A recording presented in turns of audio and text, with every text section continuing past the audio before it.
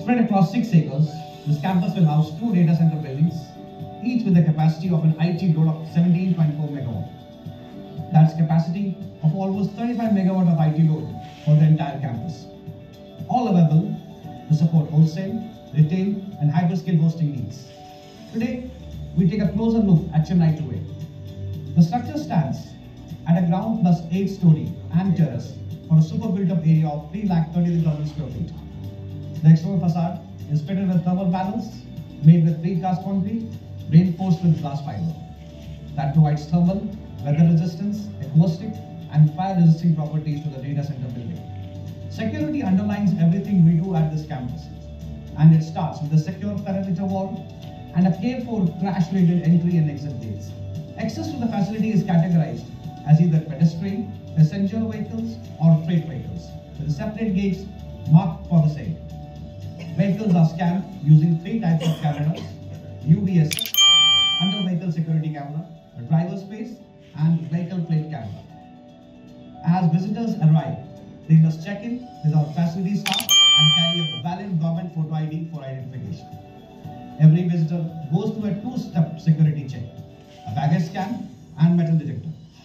Physical checking may be needed only if the metal detector fails. Now to the reception area, where we are granted an access card to move around in DC, while escorted by an NTT employee. Let's step inside the data center. Now we are at the ground floor. The finished ground floor level is at 300 mm above the campus node and 1500 mm above the external node. And this is true for all the buildings within the campus. This has been designed based on the outcome of the flood risk assessment study. At this level, we have the main entrance lobby, passenger lift area, BMS room, CCTV room, electrical room, customer seating area, and material entry and exit. There are no server halls on this floor. This ensures maximum threshold of safety for your service. Let's start with the passenger lobby and lift area. Here we have three client meeting rooms, a waiting area, and lift lobby for interfloor access. Now we are at the BMS room. Here we monitor the electrical systems, racks, PDUs, UPS, LT, and HT panels. We also monitor the mechanical systems like chillers, precision air handling units, pumps, as well as fuel management system and server hall parameters. This is our CCTV and security. The team monitors feeds from more than 1500 cameras all over the facility, including PTZ cameras on the periphery, fisheye cameras on the security desk, and fishstone cameras for the inside facility areas. Six levels of security before one can access the customer um, that is landing in this um, that will be landing in this data center um, uh, today. And um, I will what I will do is the way we've structured this is I will give you an overview of NTT's, global data center, submarine cable, and overall NTT across the world.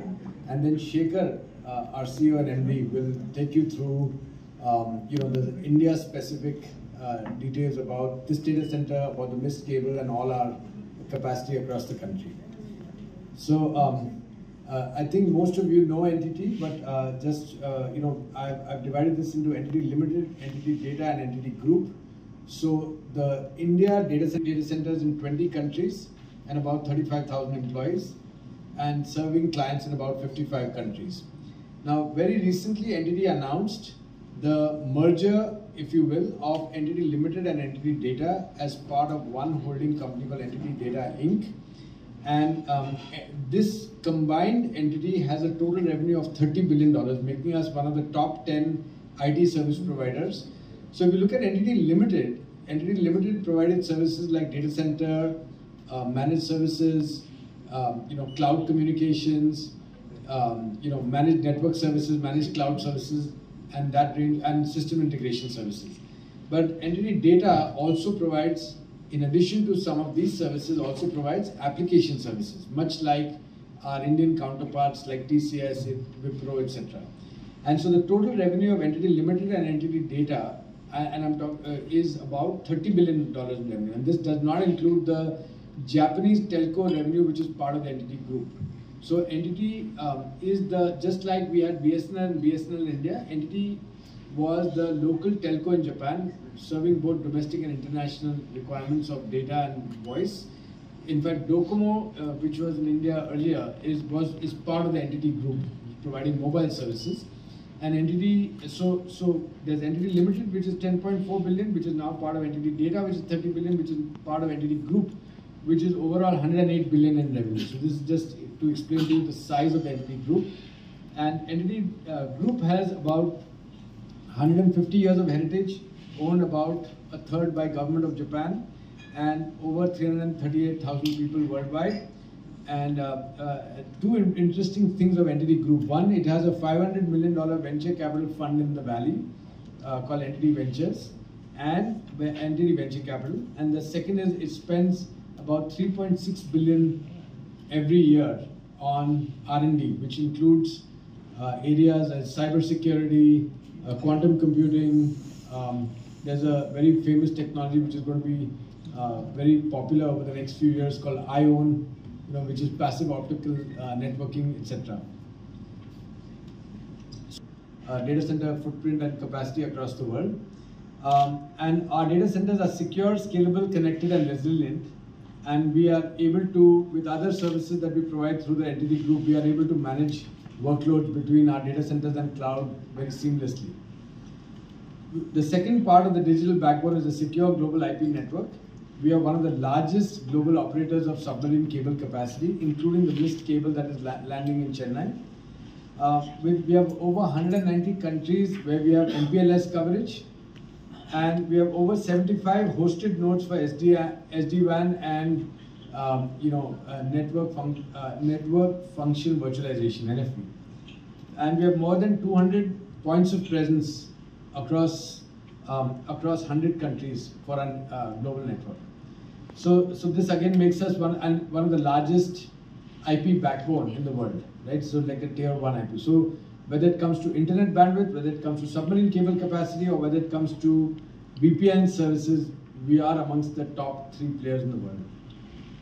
Uh, use or which network provider they want to use, and we also provide a flexible automated interconnect to cloud. We are the first company in India to launch what we call a data center interconnect service, uh, which allows you to uh, through a through software click and connect to a cloud of their choice or to connect to another data center where their workloads are present. So this is a service that has been launched I think over two years back uh, in India, and we are one of the leaders in this space in India as well. And um, and also the most important thing is that Even it's a holiday, I, assume here, and then um, and uh, Eid, uh, you know, uh, Mubarak to everybody. So uh, today, uh, I would definitely encourage you to speak to uh, you know people here who have made this company what it is, the, what it is today. So great people that you know are really driving this in India. So, um, things, I'll, I'll just take it up from where Sharad, uh, Sharad, thanks for giving an overview, the global overview. I'll just kind of bring it down to India um, and, and talk about India itself. So, uh, we have basically almost over 25 years of experience in India, working in India and uh, doing business here. And, uh, you know, uh, our data centers and, you know, the services we provide are, you know, proven track record of over 100%. The market size that we capture right now is 22% of uh, plus market in India right now for the data center um, uh, space. Uh, the leadership quadrant that is there, so we are ranked among the top in that. And we are truly committed to sustainability, which is one of the key topics of today, and all the all the organizations are very keenly looking to that. And India was never taken, you know, never taken big strides in any company here, but NTT is taking lead to to take up sustainability as one of our prime goals. So renewable energy that we talked about, uh, the net zero, and in our data centers uh, is what we are going to truly drive in India. And uh, flexible in uh, our designs, our data centers, why we are leaders in, in this is because of our thought process, our designing, our customization to meet, you know, uh, the customer designs and all, right? So we- we're very flexible in what we do. And agility, we, we, we try and deliver projects well within time, well within the customer. We understand the customer requirements and work backwards to ensure how that really contributes to the customer's business, right?